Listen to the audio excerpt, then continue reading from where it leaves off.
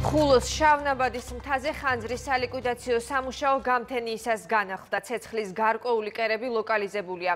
ადგილზე მუშაობს ავიაცია და უკვე შესაძლებელი გახდა მძიმე ტექნიკის შეყვანა. დარეჯან ჩხიკვაძე გვეტყვის ახლა დეტალებს ის პირდაპირ ეთერშია. დარეჯან გისმენთ. დიაგნოზა სალიკვიდაციო სამუშაოებში ცოცხალ ძალასთან ერთად დღეს ავიაცია აქტიურად არის ჩართული. ორივე ტრფენი მუშაობს შავნაბადას მთაზე. ისინი კერებთან 10-15 წუთიანი შუალედით ახერხებენ მისვლას. ვეტრფენებიდან ერთ-ერთი არის თურქული. ის ხულოში დღეს დილით ჩამოვიდა.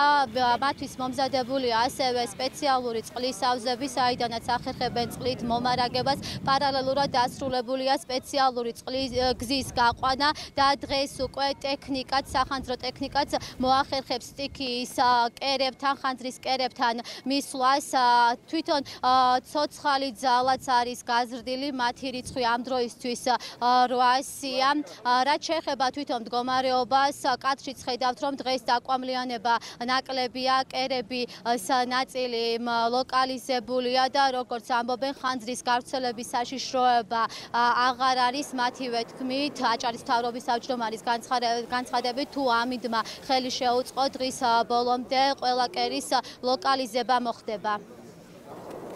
ორი თვი ნახევრის განმავლობაში წვიმა არ ყოფილა. ძალიან ძალიან დიდი გვალვები იყო. ამ გვალვებმა გამოიწვია ეს ხანძარი ლიკვიდაციაზე ობრძანდა ბევრი თელი საქართველოსთან მოსმობძანებული ხალხია. გაიზარდა ცოცხალი ძალა 800-მდე ადამიანი ერთბაშად მუშაობს უკვე ამ ლოკაციებში. თქვენ ხედავთ რომ ორი ვერტფრენი თურქული ვერტფრენი შემოგვიერთდა ორი ვერტფრენი მუშაობს ერთდროულად.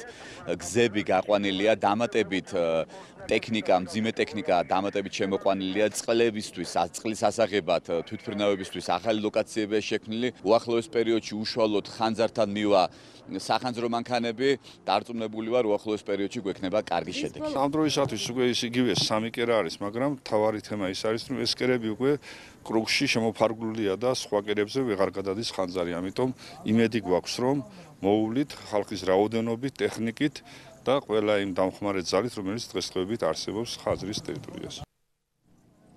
შავნაბადას მთაზე სალიკვიდაციო სამუშაოები დილის 6 საათიდან განახლდა მეხანძრეებთან. ერთად შინაგან საქმეთა სამინისტროს თანამშრომლები მოხალისეები და ადგილობრივები მუშაობენ. ისინი ხანძარს უკვე მეოთხე დღეა რაც ებრძვიან.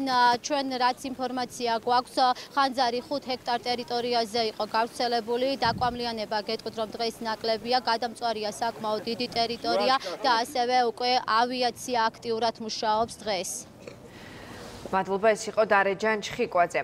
ისევ ხანძარს ებრძვიან სოფელ